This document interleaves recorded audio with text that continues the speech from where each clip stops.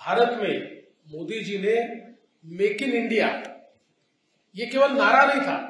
Make in India ने भारत में क्या असर दिखाया है?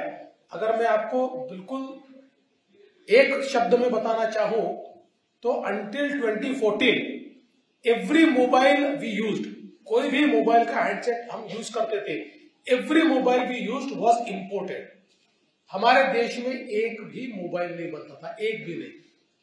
आज की स्थिति यह है कि देश में मोबाइल यूज़ करने वाले 113 करोड़ लोग हैं और देश में जितने मोबाइल यूज़ होते हैं, उसमें से 99 परसेंट मोबाइल भारत में बनते हैं। They are not imported and now we are exporting mobile handset from India ये भारत ने मेक इन इंडिया में करके दिखाया है।